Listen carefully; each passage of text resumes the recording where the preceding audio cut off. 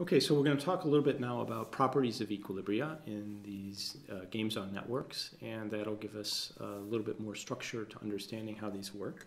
And again, we're going to stick with the idea of strategic complements and strategic substitutes. And I just want to sort of point out one really nice feature of complements and also explain why substitutes are going to be much more complicated to work with. Um, and uh, to do this, we're going to need the notion of what's uh, called a complete lattice.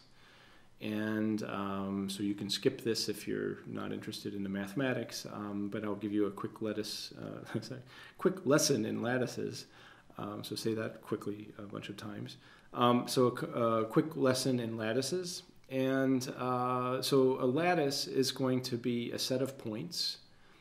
Um, so in, in particular, what we're going to be looking at is equilibria. But you've got some set of objects, and these are partially ordered. So you've got some notion of, um, say, a partial order, uh, we'll use the sign greater than or equal to. Um, so you've got some notion that some things are bigger than other things, and uh, you don't necessarily have to be able to compare all objects, but some things will be bigger than others.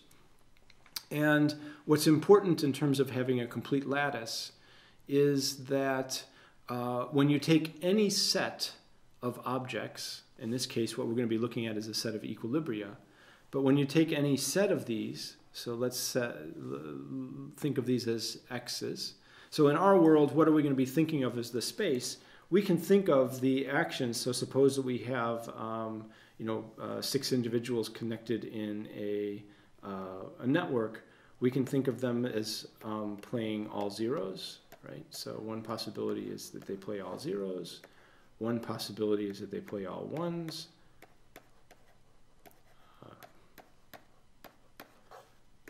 You know, some of them play ones, some of them play zeros.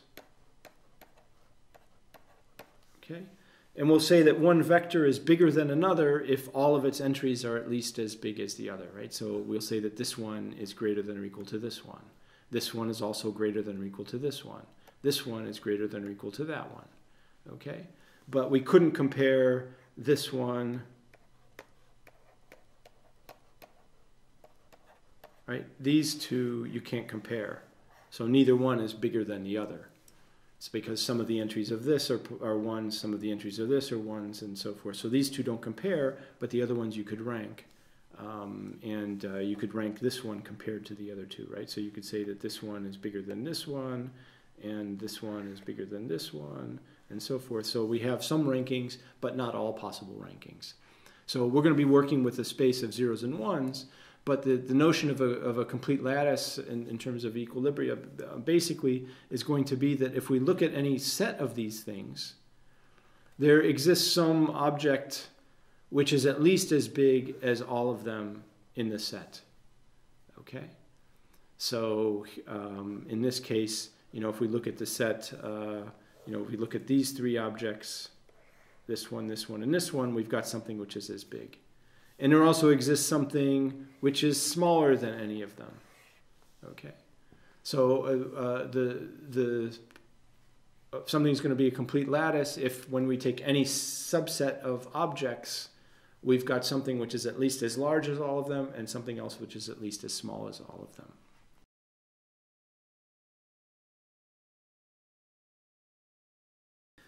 And why is that going to be useful? Let's think of our equilibrium structure. So our six objects of zeros and ones, uh, our, our, six dimensions of zeros and ones in terms of equilibria. So in the game where we had that people wanted to do something if at least two of their neighbors did, we have um, a situation where one possible equilibrium is all ones, another possible equilibrium is all zeros. It could be that these three people take action one, it could be that these four people take action one.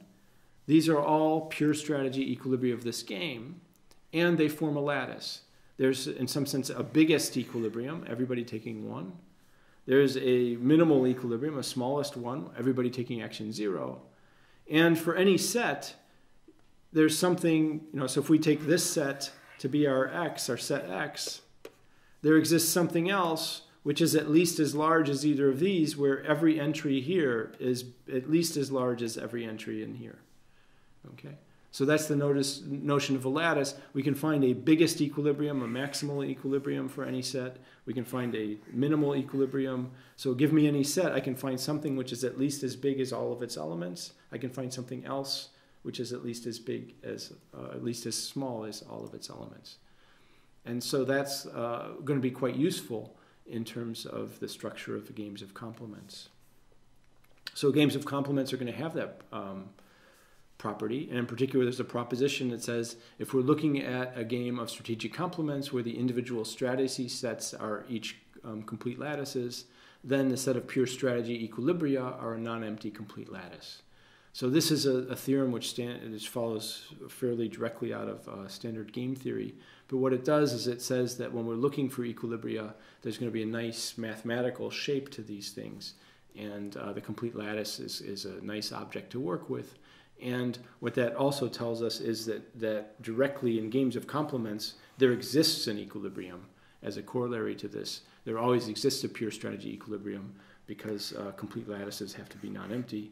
So that's um, something that comes for free. So well, there'll be uh, nice properties to these things. That also means there's going to be nice ways of finding these equilibria. And I'll say a little bit about that in a moment. Um, so the the idea um, before I go on to, to contrasting these things, let me say a little bit about then finding uh, you know uh, an equilibrium.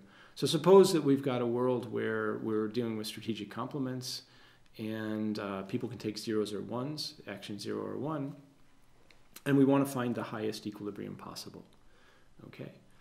So what could we possibly do? So let's suppose that there's a society, and we start with that society, um, and there's say seven individuals what we could do is just start and check, first of all, whether this is an equilibrium. Just start everybody at one. That's the biggest possible point we can imagine being an equilibrium. So try that out. Okay. So um, what this says is if everybody was taking one, would everybody want to take action one? And maybe not. Maybe some individuals wouldn't want to. So if this is an equilibrium, then that's our maximal equilibrium. We found it.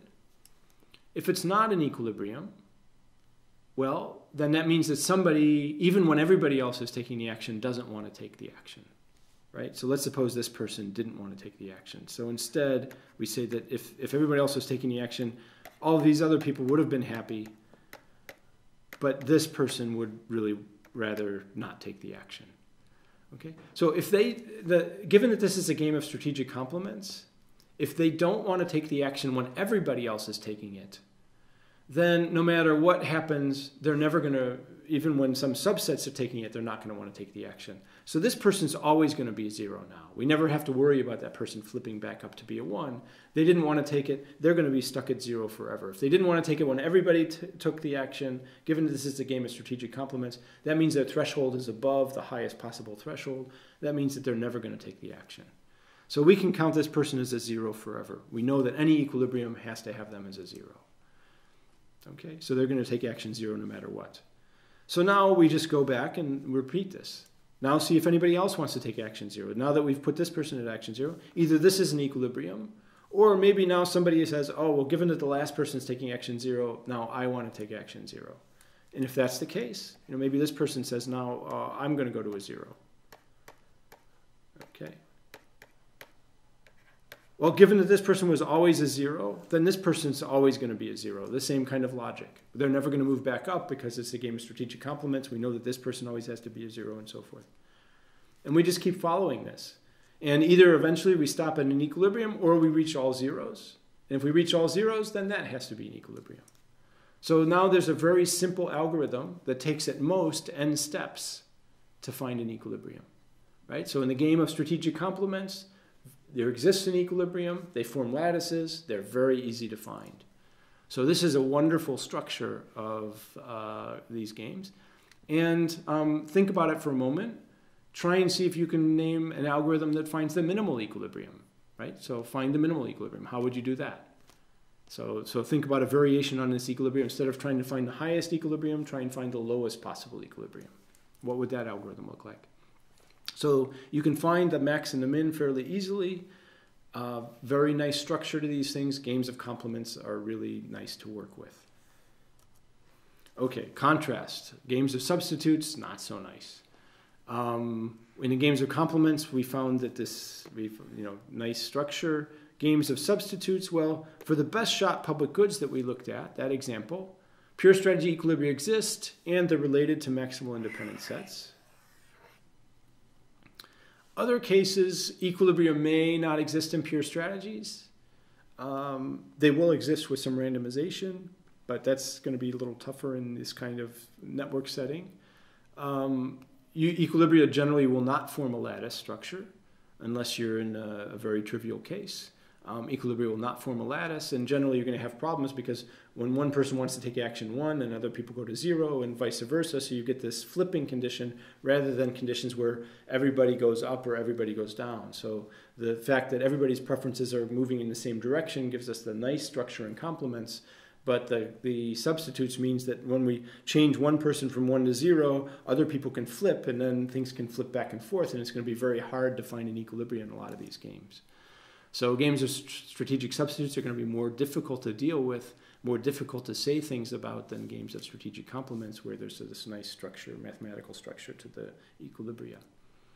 So for instance, when we look at the best shot public goods game, you know, we can sort of, uh, as we flip, you know, give an individual on or off, that's going to affect what's what's happening and you know we get this person doing a one this person doing a zero or vice versa but we're not going to be able to order these things so we can't have them uh, you know there's not going to be a, a, better equilibrium or a lower one and actually finding these things finding all the independent sets can be quite difficult finding one maximal independent set in a, in a best shot public goods game is is not hard Finding all of them can be very difficult, and in fact is a, a difficult computational problem as known in computer science. Um, but there can exist multiple equilibria and no lattice structure. Okay, um, so, so before I end, let me say a little bit more about um, you know, generally, so best shot public goods are going to be the one one of the cases in, in the public goods case where we actually can say something about finding them. So let's suppose you wanted to find uh, one equilibrium, say find um, one maximal independent set. Well, it wouldn't be, there, there's one algorithm that's fairly easy. One possibility is I just pick some node and I make that a one. So I'm going to say this person is definitely going to, I'm going to have them choose the action. Okay, how am I going to make sure that this person wants to take the action if it's a public goods game so they only want to buy the book if none of their neighbors do? So now I'm going to have to pick all of their neighbors have to be zeros, right? So I, I pick this person to be one. Now I, I fill in all the zeros for their neighbors. Okay. Now I've got a bunch of people who are still left. Pick any one of those people who are still left. They're not one of the neighbors of the first person, so they still don't have any neighbors who have taken the action. Put them as a one. Now all of their neighbors are, have to be zeros. Okay. Now pick anybody who's left, make them a one, their neighbors become zeros, and so forth that algorithm will give you one of the maximal independent sets.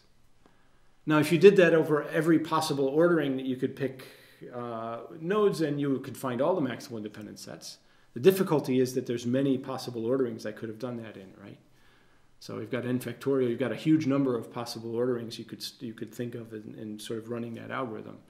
And so the difficulty in finding all the maximal independent sets is going to be much more difficult. And there's not going to, it's going to be very hard even to find the, the best one in terms of having most or fewest actions. Whereas that was easier in a game of complements where we could find a, a very quick and simple algorithm for finding equilibria. So complements, nice structure, substitutes, there's also a nice structure in terms of payoffs, but not as nice structure in terms of equilibria. Um, nonetheless, these are interesting games to look at, and, and, both classes will be interesting in terms of applications. So we'll talk more about uh, understanding equilibrium structure next.